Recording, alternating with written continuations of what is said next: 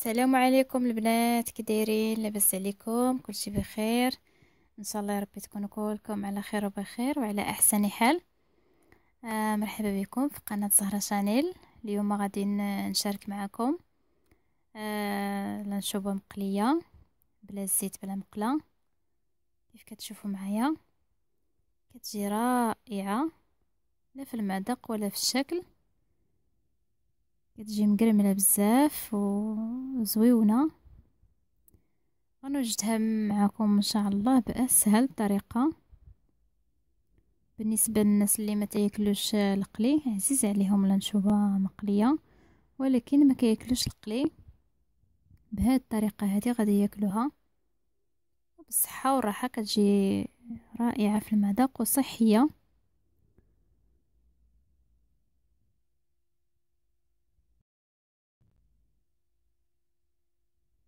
غنبداو على بركة الله.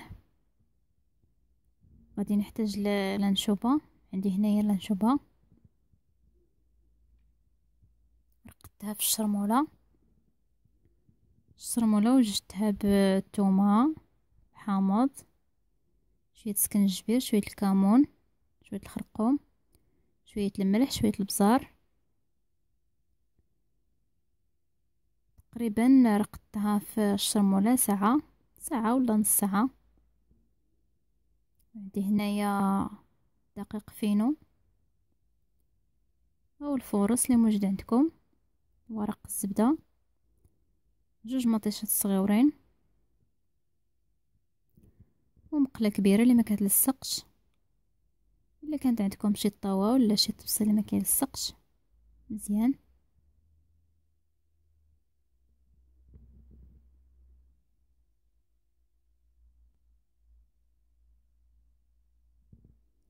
غادي ناخد الدقيق.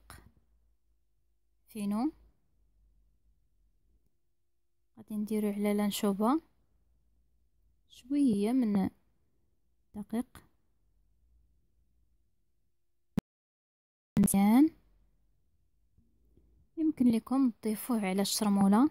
ملي توجدوا الشرمولة كلها. تضيفوا عليها الدقيق. تخلطوها مزيان. عاد غادي ديروها للشوبة تخلطوها مزيان وتحطوها ترقد صافي درت الدقيق على لانشوبه خلطتها مزيان. هنايا دهنت الطاوه بالمقله بالزيت. ودرت عليها ورق الزبده كيف كتشوفوا معايا؟ جوج مطيشات في الوسط. وستفت لانشوبه بهذه الطريقة هذه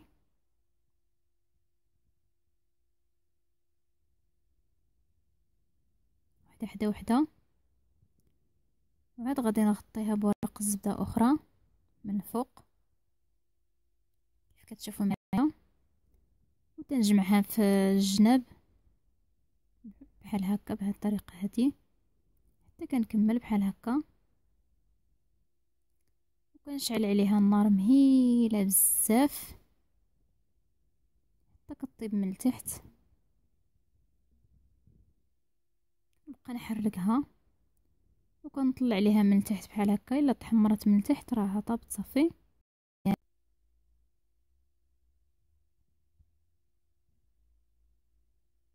نبقى نحركها بحال هكا باش ما تلصقش.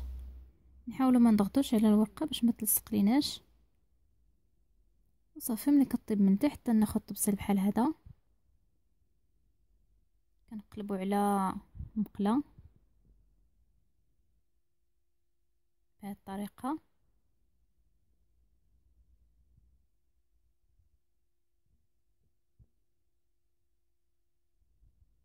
صافي ملي كنقلبها كنديرها على الآخر.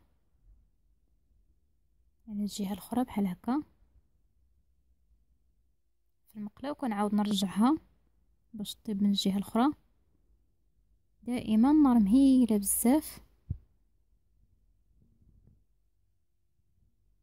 صافي ملي كطيب كنحيدو الورقة وكنحطوها بالصحة والراحة.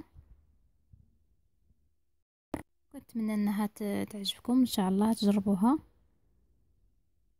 وإلا عجبكم الفيديو ديروا لايك للفيديو والبنات اللي عاد التحقوا بالقناة نقول لكم شكرا على مشاركتكم في القناة. وإلى اللقاء في الفيديو المقبل إن شاء الله.